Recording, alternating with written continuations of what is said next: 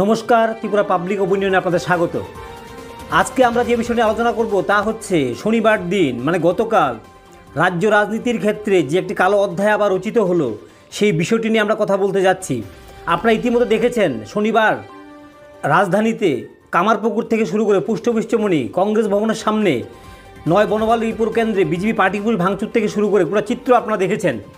সেক্ষেত্রে এর পরিপ্রেক্ষিতে কিন্তু রবিবার একটি সাংবাদিক সম্মেলন আহ্বান করেছেন বিজেপি তরফ থেকে, যেখানে সুশান্ত চৌধুরী বক্তব্য রেখেছেন।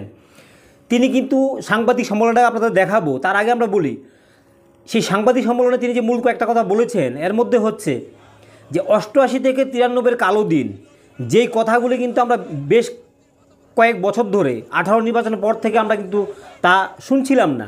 এখন কিন্তু নতুন করে রাজ্যে কংগ্রেস, সুদীপবাবুরা যখন কংগ্রেসে গেলেন তারপর থেকেই কিন্তু অষ্টআশি থেকে তিরানব্বই সেই দিনের কথা কিন্তু শুরু হয়ে গেল। বলা হচ্ছে কংগ্রেস, যারা এখন কংগ্রেসে গেছেন, তাদের সঙ্গে সিপিএমের আতাত আবার তৈরি হয়েছে। রাজ্যে আবার বামেদেরকে ফিরিয়ে আনার চেষ্টা করছেন সুদীপবাবুরা এই কথাগুলো কিন্তু বলার চেষ্টা করছেন সুশান্তবাবুরা এবং বিজেপির তরফ থেকে। এই অভিযোগ কিন্তু করা হচ্ছে। এখন প্রশ্ন হচ্ছে, এই যে অষ্টআশি থেকে তিরানব্বই, সেই কথাগুলি আগে বামেরা বেশি বলতেন। তাহলে কি তেইশ নির্বাচনকে সামনে রেখে কংগ্রেস সিপিএম যদি ধরা হয়, খুব কাছাকাছি চলে আসছে, তাহলে কি বামেরা যে কথাটা বলতো আগে, অষ্টআশি থেকে তিরানব্বই কালো দিনের কথা সেই অধ্যায়টি কি তাহলে এখন বিজেপির মুখ থেকে শোনা যাবে? কারণ পরিষ্কার বোঝা যাচ্ছে, কংগ্রেস যারা কংগ্রেসে গেছেন, কংগ্রেস দল সম্পূর্ণভাবে বিজেপির যেই ভোটার রয়েছে, যারা সদস্য রয়েছে, যারা সমর্থক রয়েছে, তাদেরকে কংগ্রেস দলে টেনে আনার জন্য আবার চেষ্টা শুরু হয়ে গেছে। স্বাভাবিক কারণেই বোঝাই যাচ্ছে, বিজেপির ভোট ভাগ যেন না হয় এবং বিজেপি দলকে দুর্বল করার চেষ্টা করবে সুদীপ বাবুরা। সেটা হচ্ছে মূল লক্ষ্য। ইতিমধ্যে তৃণমূল কিন্তু খেলা হবে স্লোগান দিয়ে চুপসে গেছেন। যে কথাটা সুশান্তবাবু ওনার প্রেস মিটে বললেন। এখন প্রশ্ন হচ্ছে, এই যে একটা সিনারি আমরা দেখলাম শনিবার দিন, তা কি তাহলে তেইশ নির্বাচনের পূর্বে এটা কি এখন থেকে শুরু হয়ে গেল? নাকি অনেকে বলছেন দশ তারিখ যে পাঁচ রাজ্যের নির্বাচনের ফলাফল ঘোষিত হতে পারে, সেই ঘোষণার পর মূল খেলাটা রাজ্যে শুরু হতে পারে। এখানে দুটি বিষয় থাকতে পারে। প্রথম হচ্ছে, যদি পাঁচ রাজ্যের নির্বাচনে, বিশেষ করে উত্তরপ্রদেশের নির্বাচনে বিজেপির ভালো ফলাফল হয়, তারপরে কিন্তু রাজ্যে বিজেপির বিকল্প হিসেবে বা বিজেপিকে যারা দুর্বল করার চেষ্টা করা হচ্ছে বলা হচ্ছে, কংগ্রেস বা বামেরা সেই আন্দোলনের জায়গাটা কিন্তু দুর্বল হতে পারে। আর যদি এর ব্যতিক্রম ঘটে সেই পাঁচ রাজ্যে নির্বাচনে, তাহলে কিন্তু রাজ্যে আবার বাম এবং কংগ্রেস মাথা তুলবে নয় শুধু, আন্দোলন, তীব্র আন্দোলন শুরু হবে এবং রাজনীতির অনেক সমীকরণ পাল্টে যাবে। এই মুহূর্তে কিন্তু মূল সিনারিটা তো চোখে দেখা যাচ্ছে না, সেটা পাঁচ রাজ্যে নির্বাচনের পর কিন্তু মূল বিষয়টি কিন্তু প্রকাশ্যে আসবে। সেখানে দুটি বিষয়, এক, বিরোধীরা শক্তিশালী হতে পারে, দুই যদি ওই রাজ্যগুলিতে বিজেপির ভালো ফলাফল হয়, তাহলে কিন্তু রাজ্যে বিরোধী আন্দোলনটা অনেকটাই থিতিয়ে পড়বে বলা বাহুল্য। আমাদের আলোচনা আজকে এখানে রাখছি। আলোচনা শেষ করার পূর্বে আমরা দেখাবো আজকের প্রেস মিটের দু একটি কথা সুশান্তবাবুর এবং গতকালকে কয়েকটি ঘটনা, কি হয়েছিল খণ্ডচিত্র আমরা দেখানোর চেষ্টা করব। ভালো থাকুন, সুস্থ থাকুন, দেখতে থাকুন আমাদের বিশেষ অনুষ্ঠান। হাবুডুবু খায়।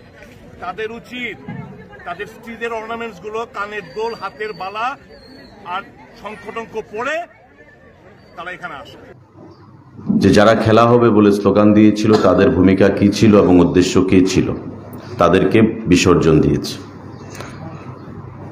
কংগ্রেস দল